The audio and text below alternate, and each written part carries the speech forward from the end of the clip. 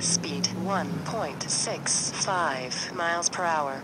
Average speed 3.73 miles per hour. Shaggy takes the dirty clothes to the laundromat. You know, I forget. Then we go to the butcher.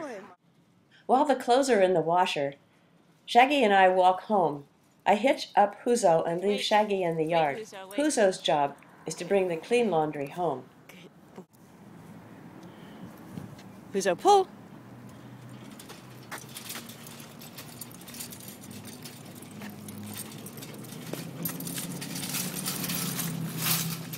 Huzo is such a willing worker. Look how he leans into that harness. Overhaul. If I had a washer and dryer, I wouldn't use the laundromat. I wouldn't boy. work my dogs with the wagon. boy. Because they are my demo dogs, Wait. I really Stay. need to work them, and not having a washer and dryer helps me be more disciplined.